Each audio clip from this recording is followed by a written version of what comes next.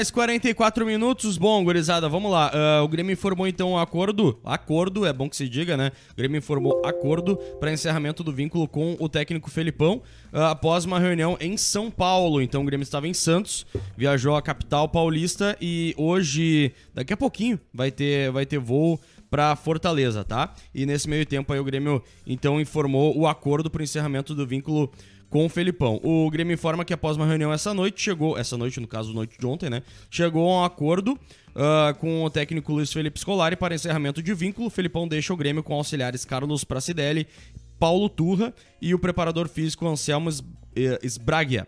Na quarta passagem pelo tricolor, o técnico bicampeão da América tornou-se o segundo treinador com mais jogos à frente do Grêmio, completando 385 partidas na Casa Mata no último mês, perpetuou-se na história gremista ao marcar seu nome na calçada da fama. O clube agradece o comprometimento e respeito do técnico e sua equipe com a instituição durante todo o período de trabalho.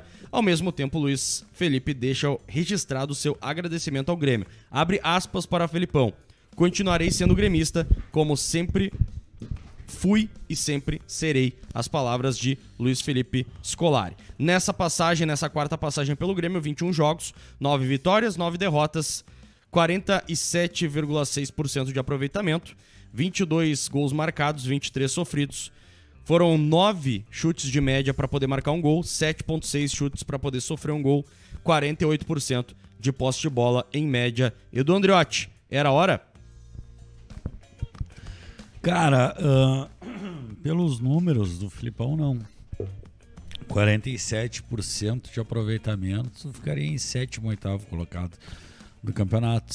O Atlético Paranaense o oitavo, tem 45,8. Filipão saiu do Grêmio com 47,9. Então não, não, tinha, não tinha números que uh, que levassem ele a sair, porque ele fez, fez uma melhora e com 47, 50% dos pontos que falta a gente escapa, né? Matemática é essa, né? Só que o problema é que o, o, todo aquele zum zum zum que a gente ouvia sobre o grupo não querer o Filipão, o grupo chamar reunião com o Filipão. Um, eu tenho informação de que jogadores pediram para ser mais ofensivo. Por outro lado, eu tenho informação que os jogadores não quiseram ser mais ofensivos. Era apenas uma conversa sobre a saída de bola, mais o toque.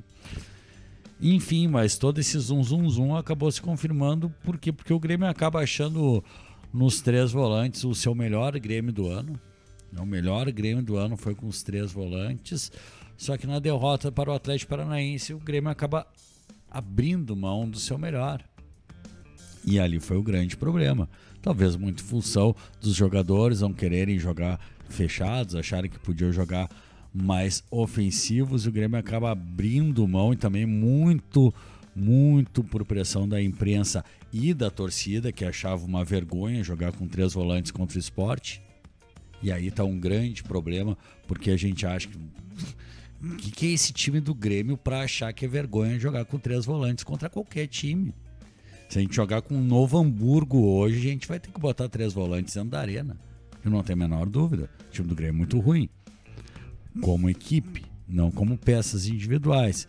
Então acho que ali foi o grande momento que o Grêmio se perdeu. Se ele continuou com os três volantes, ia perder para o Atlético Paranaense, ia perder para não sei quem, ia perder alguns jogos mais.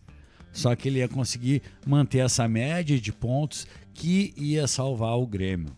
Talvez o imediatismo dos resultados, esse anseio para sair da, da Série B tenha nos prejudicado muito. Ó, oh, tem ganhado esporte para sair, tem ganhado Cuiabá para sair, tem ganhado não sei quem para sair. Talvez esse anseio para sair da, da zona de rebaixamento tenha feito com que o trabalho afundasse mais. Então, sobre o Filipão sair, eu acredito que sim. Por quê? Porque não pelo Filipão, mas pelos jogadores não comprarem a ideia dele. E isso está se refletindo em campo. É jogador brigando com Gandula, jogador tirando cartão de, de juiz, é, goleiro sai chorando, sabe? Isso aí é, é isso aí é para é complicado, Ó. sabe? Daí é, então é, me, é, melhor sair, chegar pros caras lá, tá aí aí, velho. Vamos fazer o quê? Vocês querem quem de treinador? Quem é que as, que, que as belezas querem que treine vocês para vocês jogarem ou se esforçarem ou que deve. E se esforçar, o que eu digo não é chegar dentro do campo, dar carrinho na lateral, correr feito um louco, brigar com gandula, transpirar, suar a camisa. Não, não, não, não. Dedicação e entrega é no trabalho, é acordar cedo, é dormir cedo, é se alimentar bem, é cumprir, é cumprir com aquilo que o teu chefe te manda. Não interessa se tu gosta dele, se tu não gosta, tu é um profissional que está sendo pago para isso, para dar o teu melhor. Então eu acho que o time do Grêmio está muita transpiração, muita loucura. Agora, e a dedicação quando a câmera está desligada? Está acontecendo? Os jogadores estão dormindo bem? Estão comendo saladinha? Estão parando de ir para a noite? Era isso que eu queria saber. Porque a hora que liga a câmera e vai pro jogo ali, tá todo mundo dando carrinho na lateral, faz gol, beija a camisa, bota dedo no ouvido. É. E quando a câmera desliga? Estão se dedicando? Porque, sinceramente, com esse resultado que eu vejo em campo, olha, eu acho difícil estar tá rolando uma dedicação. Opa, e aí, tudo certo? Isso que tu acabou de assistir foi um corte do Redação. Redação Pachola que agora vai ao ar de uma maneira mais compacta, digamos assim, né? Da 1h30 até as 2h30 da tarde todos os dias. Se tu curtiu, não esquece de deixar aquele like maroto, te inscrever aqui no nosso canal e claro, se possível, clica ali no botãozinho de seja membro, tu vai curtir o que tem ali.